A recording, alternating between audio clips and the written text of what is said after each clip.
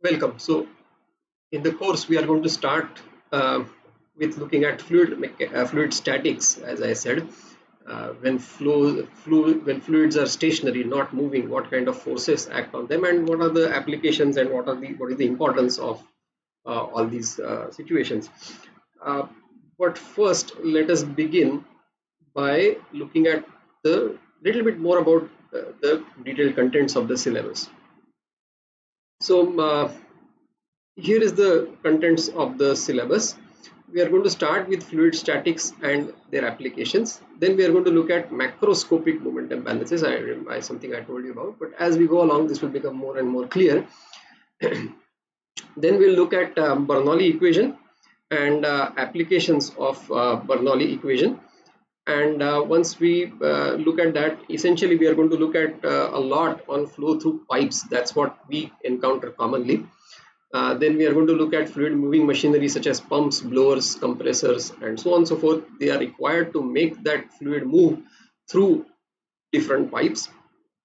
Then we are going to look at flow past immersed object. What we mean by immersed objects is that uh, fluid is flowing around the object and what kind of forces act on that object. Say for example aeroplane. When an aeroplane is flying it is same as as if the aeroplane is stationary and air is moving around uh, moving around that aeroplane. Or if you have a let's say a cricket ball uh, the cricket ball is thrown um, uh, by the bowler or hit by a batsman and then the forces acting on that ball can be uh, calculated in the same way as if the ball is stationary and air is moving around that ball at some uh, speed or the uh, or the uh, or if people are uh, interested in football then when a person kicks the football how the how the ball curves and then all those kinds of all those kinds of applications are related to flow past immersed objects. Sometimes this pressure uh, drop or flow in pipes and fittings, sometimes these are called as internal flows because the flow is inside the pipe. Whereas sometimes this uh, flow past immersed object is also called as external flows. So where the flow is outside the object.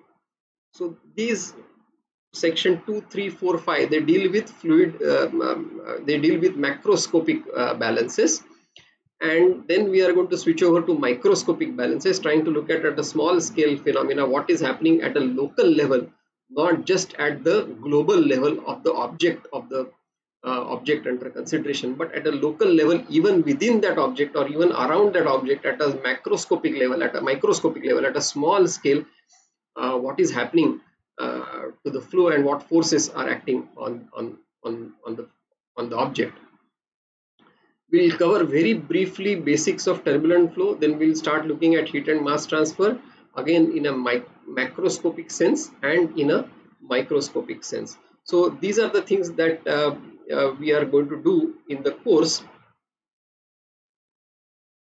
And uh, as we go along, you will see many, many applications, many, many problems uh, so the way to view these uh, lectures is to have a pen and a piece of paper ready or a pen or a notebook ready and a calculator most importantly a calculator uh, ready. And uh, once you have that uh, whatever you see in the video make notes of that. There will be problems in the video. So when problems are there in the video good idea to pause the video. I will also keep on telling when to pause and and, and solve the problem. So uh, essentially pause the video, solve the problem uh, for yourself, uh, try it by yourself. Uh, even if you don't get it at first attempt, that's okay. Uh, try harder, go back to previous videos, see the theory lecture, go back to the textbook, read a little bit more, uh, solve the problem yourself. If you are not able to solve, discuss with your friends and um, classmates. still, if you have doubts, you can then go to the uh, further part of the video. So even if let's say for example this video is about um, half an hour it should take you about a couple of hours to actually solve the problem read the material and so on and so forth. So for example if there are about um, there are supposed to be 60 lectures in this uh, in this course um, including uh, theory as well as tutorials so we would be having um, uh, videos about 30 hours or, or 20 to 30 hours or, uh, or so because it will take you when you solve the problem it will take you much longer than uh, what the video uh, duration is.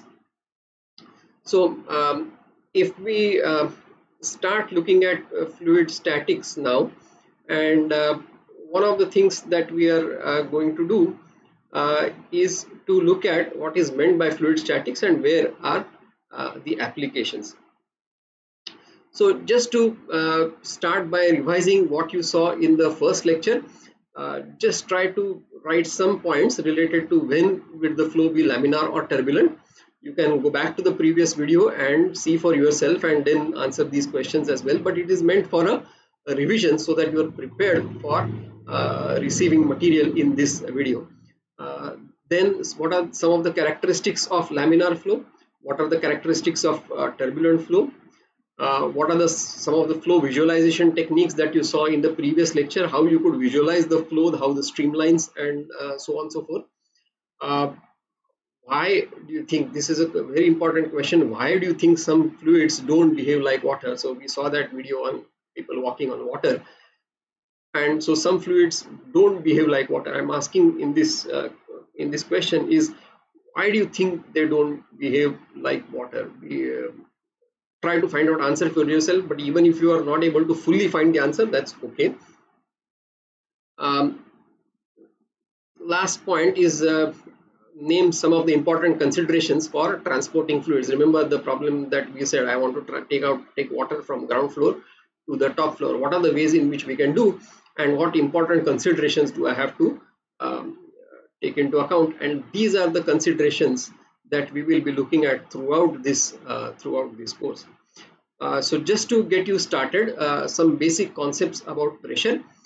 Uh, remember when you were doing in 11th standard kinetic theory of gases, you talked about molecules of the gas being point forces, uh, point masses and traveling at a random velocity, RMS velocity dependent on temperature. And when these molecules collide uh, with the walls of the container, that is what you uh, that is how you get pressure and you have derived equations uh, for that.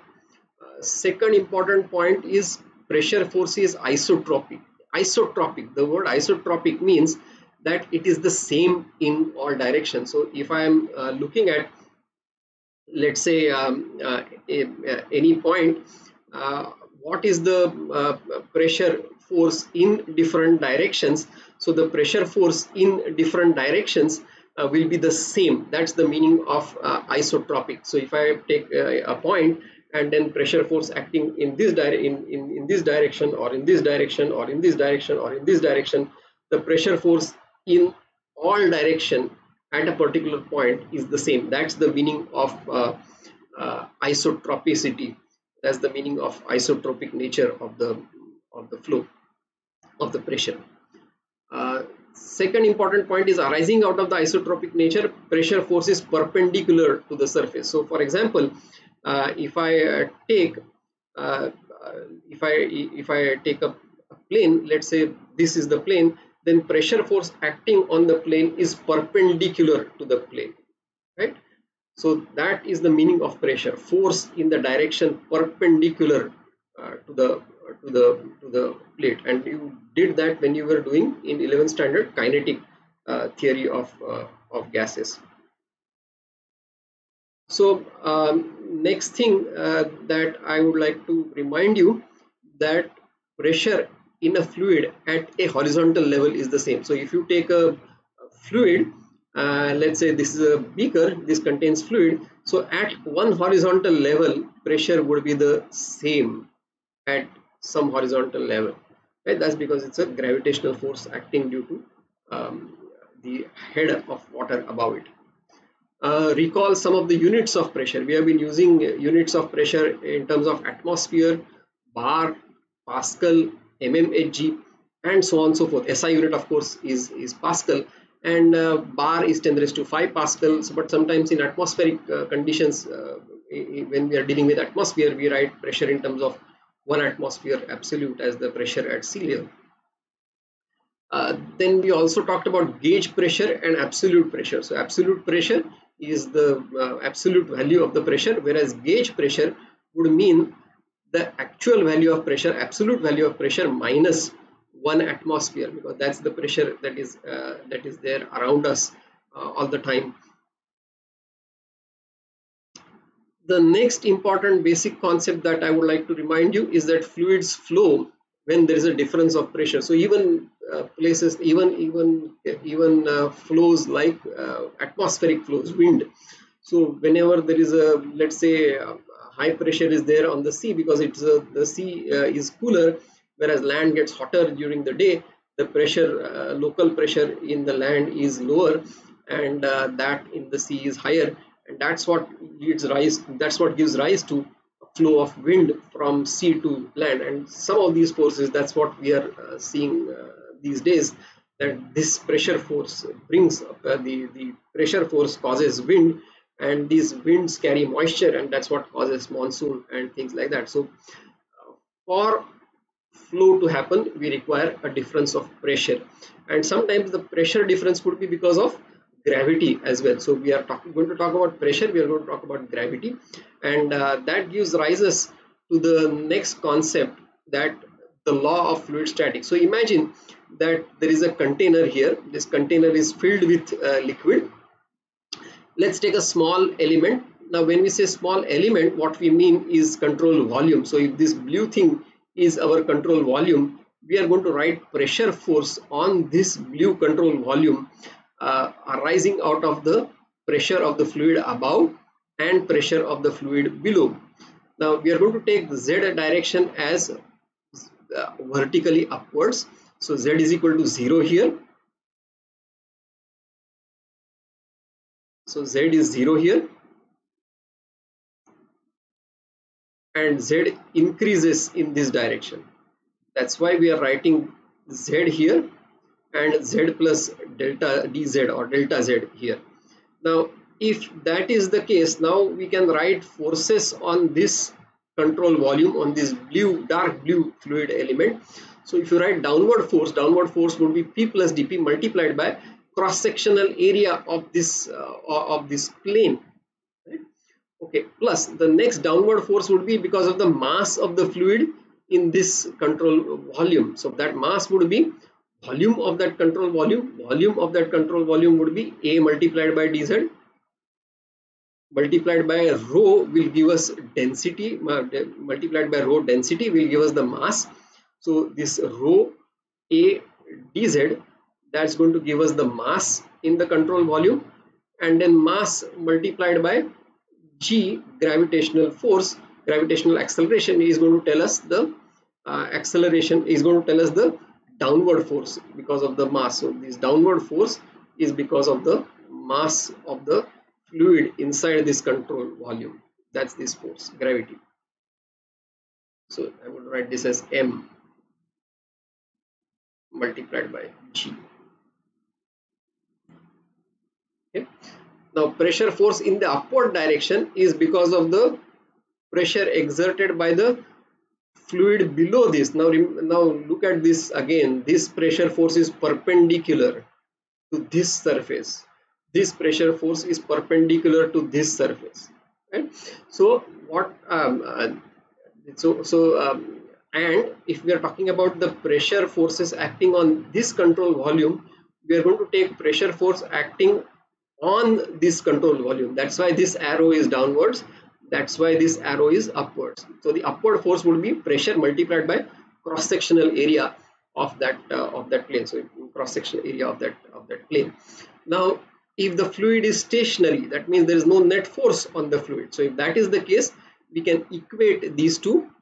And once you equate these two you can rearrange and you will find that dp is minus rho g dz so this has happened that minus sign has come about minus sign has come about because we are taking z upwards whereas gravitational force is downwards. So the gravitational force is opposite to z. That's how that negative sign has come. And if you would like to think in terms of mathematics in terms of derivatives if you talk about z on this axis versus p as z goes up p goes down. So this dp by dz has that negative slope uh, just to give you an example, so if the pressure at the top of this liquid surface uh, is one atmosphere, then the pressure at the bottom would be one atmosphere plus this hydrostatic head. So if, for example, if water depth is 10 meter, pressure due to hydrostatic head of water is 10 multiplied by 1000 multiplied by 9.81 that would be 98,100 Newton per meter square almost equal to 1 bar. So 10 meters of water column is going to be equal to uh, 1, um, 1 bar almost. And pressure force uh, and pressure is measured so pressure could even be so that's how we measure pressure in terms of height of water column or in case of uh, barometers when we want to talk about atmospheric pressure and things like that we measure uh, or we report pressure not in terms of units of Pascal or Newton per meter square, but we write report in terms of mmHg. So that's the uh, analogy of uh, that's how the uh, we are reporting in terms of the height, but it is going to tell us that h height multiplied by rho multiplied by g that's going to be equal to the pressure at the bottom. And uh, remember one more thing that if we are talking about the net force on this whole of water, or net force on this particular bottom portion of the uh, of the beaker if you like the atmospheric pressure is there on the surface atmospheric pressure is there on this surface everywhere atmospheric pressure is here on this surface everywhere atmospheric pressure is there on this surface also from the bottom so the net force, so even if there is no water in this, this beaker is stationary because the atmospheric pressure or atmos force due to atmospheric pressure cancels across the whole of this uh, of this beaker and therefore the beaker is stationary. So if we are talking about the bottom of the vessel, the net force is only due to the hydrostatic head that's equal to height of this water into rho into g. Atmospheric pressure is just cancelling out throughout. Okay. So if we are talking about forces on submerged surface so let's say there is a water. Now these kinds of things become important when we are talking about uh, large quantities of water being stored. Say for example dams or uh, sluice gates which are used to control flow of water or important for ships which uh, a large portion of that ship is below the uh, surface of the of the of the sea or submarines which dive completely uh, inside the inside the sea or there is a diver that is going down. So for example uh, what i'm trying to say is suppose there is a sea here and water is everywhere. Now if we write take a differential element which means a control volume of uh, height dz. Now remember this z is 0 here z is equal to h here. Now we are taking z positive in this direction. So z and g are in the same direction. That means pressure will increase with respect to z. That's why if you take uh, dp by dz then so this should be dz not uh, yeah sorry. So dp at this location yeah at this location so pressure is going to increase with z. Pressure is going to increase with z. That's why there is no negative sign here. So if you find out pressure at this location okay so this d should not be here. Just rub that. Pressure at this location would be rho g z. Again atmospheric pressure is going to cancel out throughout. So pressure force at this location is only rho g z. So differential element if we take dz the differential force on this element would be rho g z pressure multiplied by area of this plane area of this of this differential element area of this differential element would be w multiplied by dz so the total force acting on this plate total force acting on this plate would be integral of this force df with respect to dz from 0 to h so all i have to do is the total force would be so 0 to f total and this would have to be integrated from 0 to h. So that will give us the total force as rho g w and h square by 2. So that's the total force because the pressure force is increasing with depth increasing with depth. You see pressure force here is small because of this depth. Pressure force is here is large because of this depth. So it's like if you want its area under this curve. That's the meaning of integration. That's how you get rho g w h square by 2 now we can define a quantity called as center of pressure. So center of pressure would be a weighted average of this force. So I, I if i if i would take weighted average it would be integral of z df from 0 to f total that is we are integrating with respect to df and df 0 to f total. So in short if i replace this in terms of uh, in terms of dz you would have to integrate this from 0 to h and this also from 0 to h. So if you integrate that you will find that the center of pressure is 2 by 3 h. That means center of pressure is two-thirds way down. So this point let's say is our two-thirds way down. That's called as center of pressure now when we are talking about ships and submarines the concept of center of pressure is very important because that this point center the center of pressure is a point or a, or a line through which the whole pressure force is acting. Now when you say whole pressure force is acting it's like center of gravity or center of mass.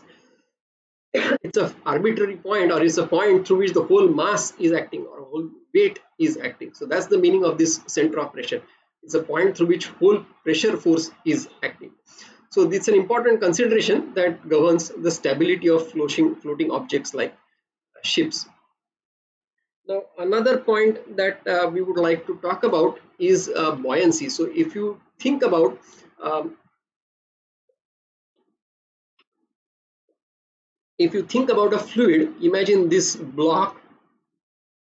Imagine that there is a block here and this block is let's say having a different density than the fluid around it. Now the fluid around it will exert a pressure force. These are shown by these arrows. So pressure force at this location is p1 pressure force at this location is p2 obviously p2 is more than p1 now again uh, z is positive uh, in this direction. So uh, pressure force acting on this part would be in this direction. Pressure force acting on this part would be in this direction so in the horizontal direction the pressure force due to these pressures or, or at these locations and pressure force due to these locations they will just cancel out. So the net force in the horizontal direction would be uh, would be zero. Now if you think about vertical direction pressure force would be P1 multiplied by A area of cross section here area of cross section here that would be delta x multiplied by the bottom uh, portion uh, right. So this uh, multiplied by the width in the plane of the of the of the screen if you like. And pressure force in the bottom plane would be p2 multiplied by this area. So this area would be delta x multiplied by that w uh, multiplied by that width in the screen uh, in in the per direction perpendicular to the screen so the vertical uh, direction pressure uh, force would be this pressure is higher than this pressure therefore there will be a net vertical force because of pressure in the upward direction. So that net pressure force is p2 minus p1 multiplied by a. This is the net pressure this is not the net pressure force this is the not the net force this is the pressure force only. Or uh, besides this there is a weight that is acting w okay, so we are not considering that. We are only considering forces due to pressure of liquid. So the force due to pressure of the liquid in the vertical direction would be p2 minus p1 multiplied by a in the upward direction. Now p2 minus p1 i can write from uh, fluid statics law of fluid statics. P2 minus p1 would be delta z multiplied by this rho of liquid the surrounding liquid. So this surrounding liquid has a density rho l multiplied by g multiplied by a. Now i can combine this a and delta z. That will give us the volume of that object. And volume of that object is nothing about nothing but volume of the displaced fluid. So the upward force due to pressure is nothing but volume of the displaced fluid multiplied by density of this liquid multiplied by g. This is what we call as buoyancy force or buoyant force. Remember our uh, Archimedes example. So Archimedes uh, was the one who was uh, looking at the buoyancy and will be a problem later on. So the buoyant force is nothing else but a resultant pressure force. It is due to pressure and it is due to hydrostatic head. So they are the same whether we take pressure force separately or whether we write in terms of the buoyant force, buoyancy force acting on this object, it is one and the same. We don't have to account uh, for pressure and buoyancy separately, they are the same. So let's take a small problem. So imagine that there is a cylindrical wooden block, diameter is 9 centimeters and height is 11 centimeters. It floats in water with this 3 centimeter portion remaining above the water. I would like you to find the density of this wooden block. Okay, so now is the time to pause the video, do this problem yourself and then only go forward again if you are stuck ask classmates read books uh, see google wikipedia all kinds of things but try to solve this problem yourself and once you have solved then only go ahead that's why i'm saying the duration of this video and the duration that you will need to study will be much more. The duration that you will need to study will be typically two or three times the duration of this video. Okay so here is the answer. So if you took, look at the gravitational force on this object gravitational force would be in the downward direction. So this gravitational force is in the downward direction. Gravitational force would be volume of that uh, wooden block pi by 4 multiplied by diameter square multiplied by h multiplied by density of the block multiplied by g that's the gravitational force the buoyant force upward would be the volume of displaced water into rho of water into G. And since the block is floating, it is not moving, it is neither going down nor going up, it is uh, floating at this location. That means net force must be zero. And if net force is zero, then the gravitational force must exactly balance the buoyancy force acting on this wooden block. So now I can write for gravitational force. Buoyancy force would be now I can write in terms of the volume of the object but now volume of the object that is displacing the water that is what is responsible for buoyancy so it is only pi by 4 multiplied by d square multiplied by, by the submerged portion submerged portion of this block that is what is displacing the water. That is what is causing the buoyancy. Only this part. Multiplied by rho w multiplied by g. So I can cancel out this pi by 4 d square. I can cancel out this pi by 4 d square. I can cancel out g.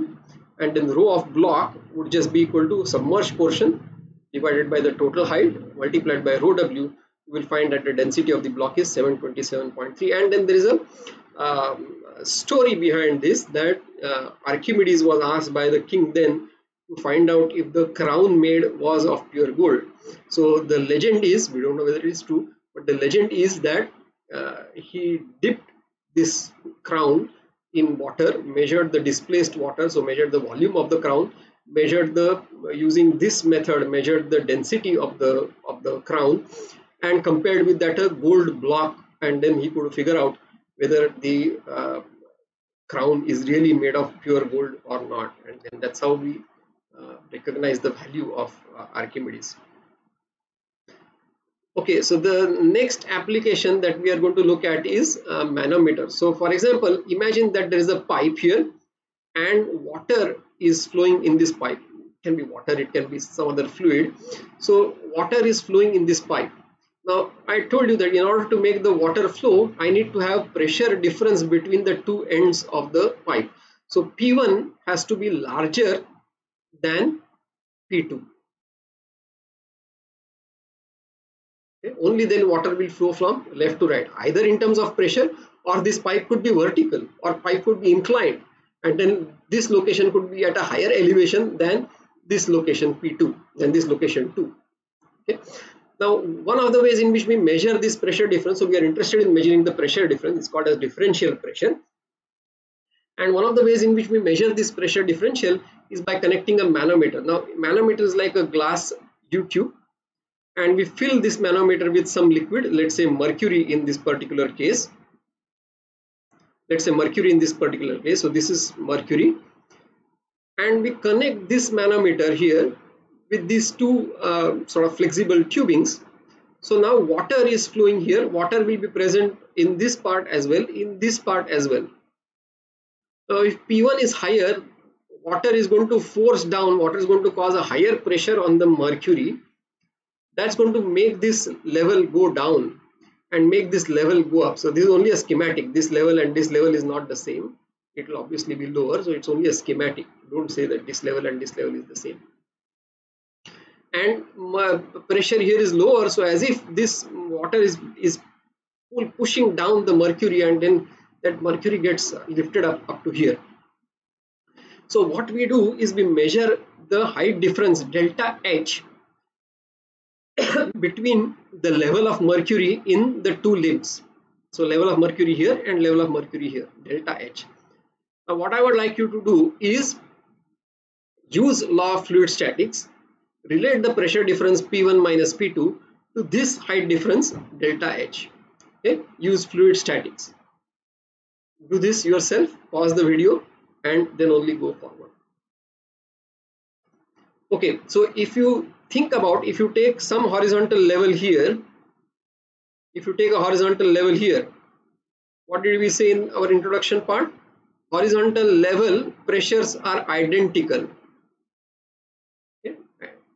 Pressures are identical now that means pa must be equal to pb now pa we can write in terms of p1 pa would be p1 plus the height of water in this portion.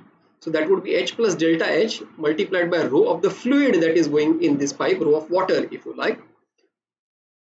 Pressure at B would be now due to hydrostatic head because of this much amount of water plus this much amount of water plus this much amount of mercury. So pressure at B would be P2 plus H into rho F into G, rho of fluid in the pipe multiplied by delta H multiplied by rho M. M either you can say M is mercury or M you say fluid in the manometer into G. So if I say now PA and PB are the same then I can equate these and then I will get an expression for the pressure difference in the pipe in terms of the height difference in the manometer limbs and density difference of the manometric fluid and the fluid in the pipe and G. So you should have been uh, you should have been able to get this uh, yourself. It's very straightforward. Okay, so for example now if we take delta H is say 50 centimeters, rho F is water 1000 kg per meter cube, rho M is mercury 13600 oops one zero more. Just one second. I will correct this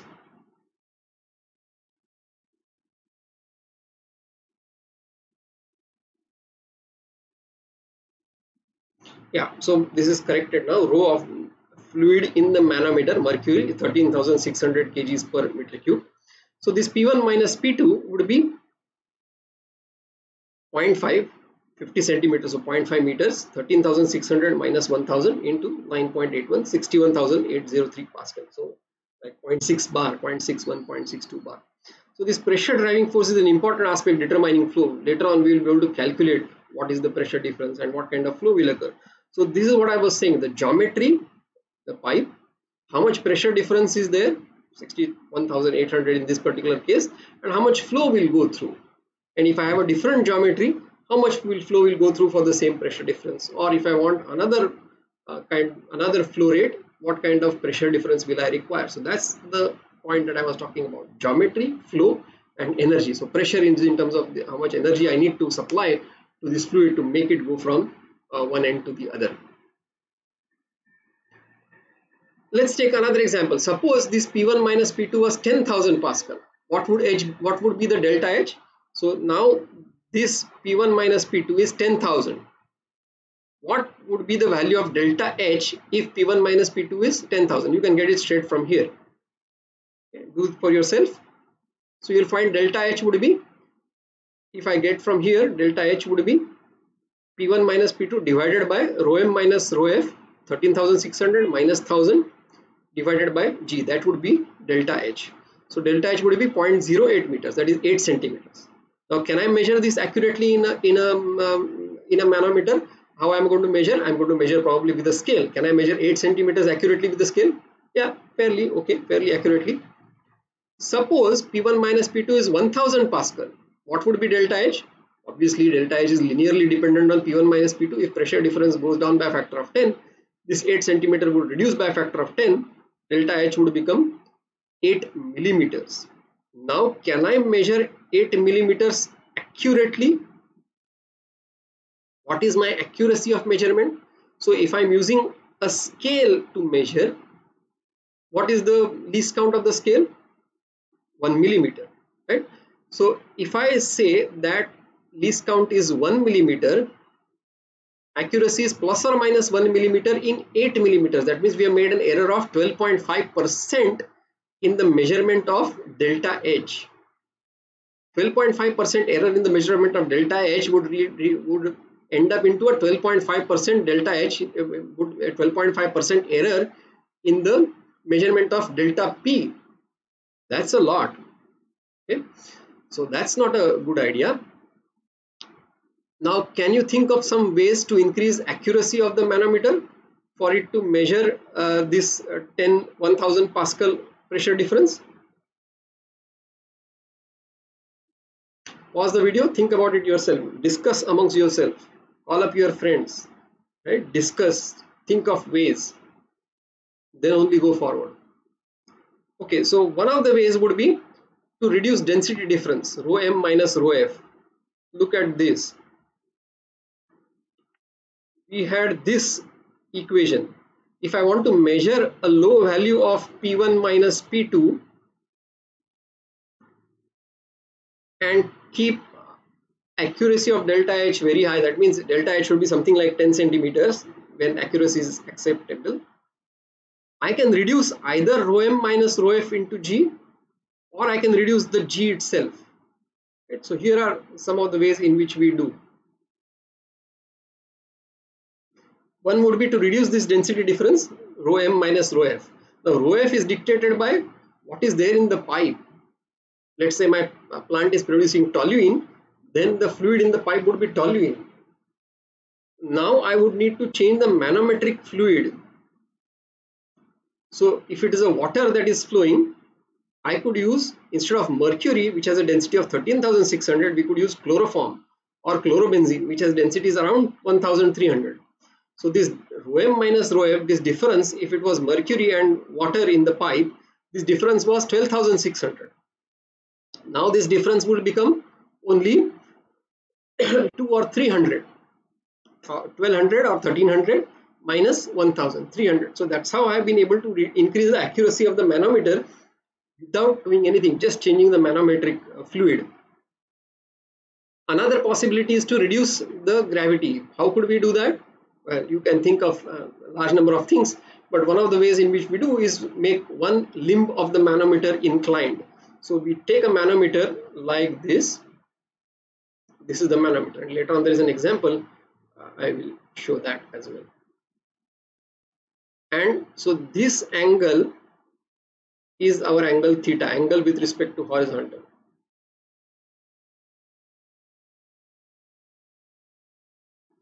and we measure so if, if this is connected to higher pressure P1 the height difference would be water will rise in this inclined limb or mercury will rise in this inclined limb and the height difference will be the same. But I don't measure this height difference now. What we measure is you measure the length along the incline. And that along the incline would be delta h along the incline multiplied by sine theta this would be equal to the vertical height difference delta h. So we don't measure the vertical height difference we measure delta h along the incline. So this is delta h but this is delta h along the incline. And then that's how if I, by making theta small we could make sine theta small and we can increase this delta h that we measure along the incline even if for a low pressure difference P1 minus P2. Another way, way in which we do is to use a two fluid manometer. So we don't have a manometer with one single fluid. We take manometer with two different fluids. This is especially useful if the fluid in the pipeline is air and density of that air is very low, let's say 2 to 10 kg per meter cube. And even if I use water, then the density in the manometer, then the density difference between the manometric fluid and the uh, fluid in the pipe is still of the order of 1000. So that still prevents us from measuring delta H accurately if the pressure differences are small. So then we use two different fluids in the manometer which have small density difference. Let's say chlorobenzene and water or chloroform and water. And then the delta H between them or the delta uh, rho between them is is one or uh, is couple of hundred or so. Then we can measure the pressure difference in the pipe uh, accurately. So homework for you is to derive equations for inclined manometer and two fluid manometer. You can use uh, you can read the textbooks you can uh, look at uh, internet and so on and so forth but derive these equations yourself. That's the homework for you. Okay here is a problem uh, related to the uh, uh, manometers. This is taken from White's book.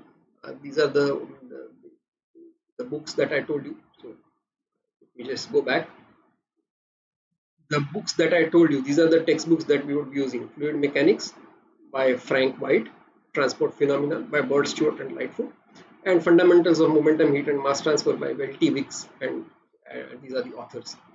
So uh, use one of these books and uh, try to uh, derive equations for the um, manometer that I told you about. Inclined manometer and two fluid so here is a problem. So let's say there is a uh, container here that has air under some pressure. There is mercury here. There is air here. There is water here in this part. And the height differences uh, height of this mercury here is 15 centimeter from ground 32 centimeter from ground. Height of water here is 18 centimeter from ground and this is L and this is at an angle of 35 degrees with respect to vertical. System is open to atmosphere on right side so this is atmospheric pressure. L is 120 centimeters. I would like you to find what is the value of PA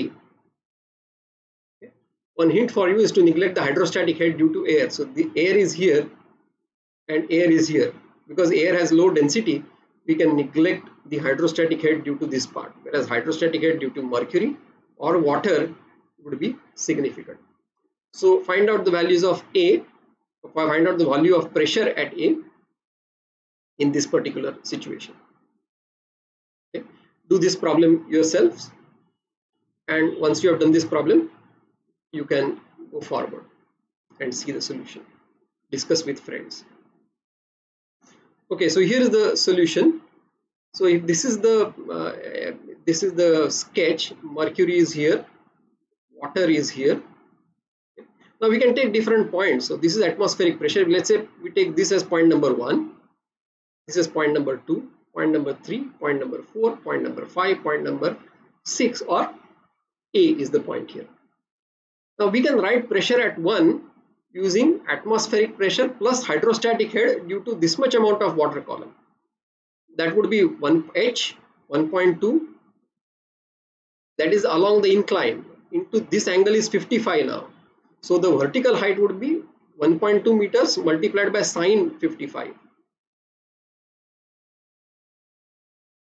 1.2 multiplied by sine 55. That would be the vertical height difference. H multiplied by rho multiplied by G 9.81. That would be P1. Now I can write hydrostatic uh, law of fluid statics here. I can write between P1 in terms of P2. So if I do that, P2 would be P1 minus the hydrostatic head due to water column here. We are neglecting the hydrostatic head due to air here. So P2 would be P1 minus 0.18, 18 centimeters into rho of water into G. Now point number 2 and 3 are at the same location, level, horizontal level. So P3 would be same as P2. P4 would now be P3 plus the hydrostatic head of mercury here. We are neglecting the hydrostatic head due to water here, or due to air here, sorry, hydrostatic head due to air here. This is mercury here. So P4 would be P3 plus 32 centimeters, 0.32 meters, 13,600 density of mercury multiplied by 9.81. Again, P4 and P5 are at the same horizontal level. So P4 and P5 would be identical. And now PA we can write in terms of P5. So PA would be P5 minus the hydrostatic head due to 15 centimeters of mercury. So 0.15 into 13,600 into 9.81. Now we can simplify PA would be atmospheric pressure plus 30558 Newton per meter square, Pascal if you like. H rho g has units of Pascal. If I take H in meters, rho in kg per meter cube and g in meter per second square. Or if you want to talk in terms of gauge pressure at location A, gauge pressure would be just the pressure at A minus atmospheric pressure. It would just be 30,558 gauge. If you have not got this problem, if you are stuck, again clarify your doubts and uh, and complete the uh, problem yourself. Some of the applications of fluid statics some more applications. So uh, one of the applications is in hydraulics right? You have hydraulic brakes for your car power steering in your car right? So hydraulic jack is an example here. So if there is a uh, uh, limb here which has a small diameter there's a limb here which has a larger diameter and this is supported um, by a piston and this car is let's say standing on this piston now if i look at a horizontal level here pressure is the same so p1 and p2 would be identical right? the force that i need to apply on this p1 on this location 1 would be p1 multiplied by a1 and force that will get transmitted here would be p2 multiplied by a2 now p1 and p2 are identical uh, p1 and p2 are the same because they are at the same level so this p1 and p2 they are the same so I don't have to call them by differently. They are same. So the force that is generated here is multiplied, amplified by the area ratio A1 and A2. So that's why applying a small force, I am able to lift a large force, say car. So this is what is used in hydraulic jacks.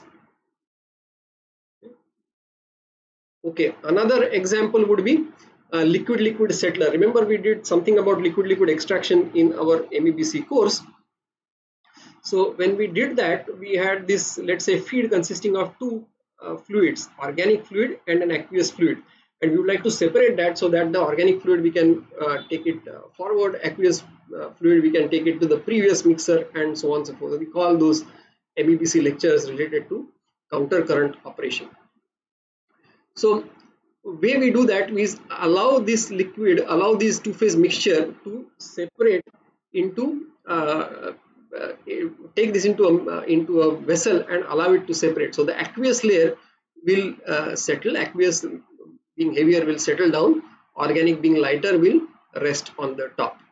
And uh, what we would like to do is we would like to control this level of this interface.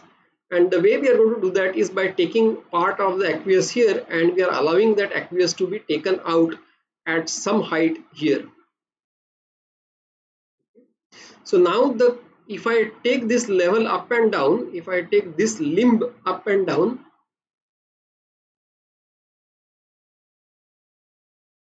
the interface I can take up and down you will see this more clearly when you start doing actual experiments in your uh, second year and third year. Okay. Now, the organic liquid is overflowing here. That means this total height is constant.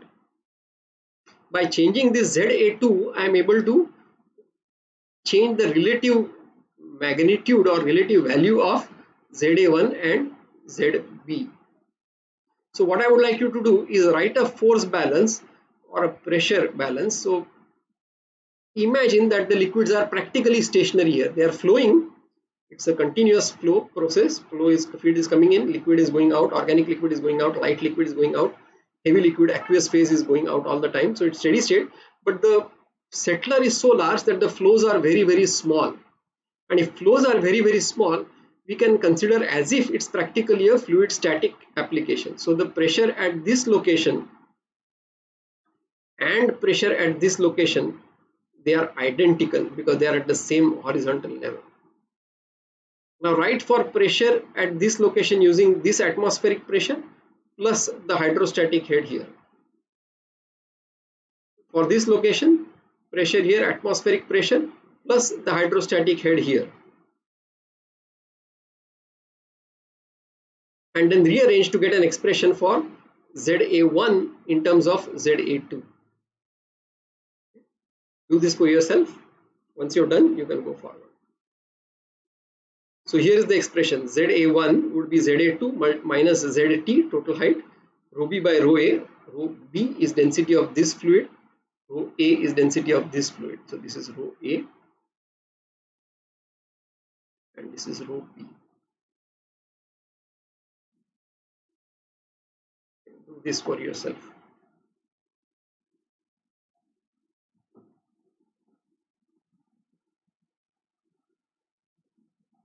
So you should be able to derive this expression yourself. Okay. So that's the end of uh, first so that's the end of first part of our uh, lecture on uh, fluid statics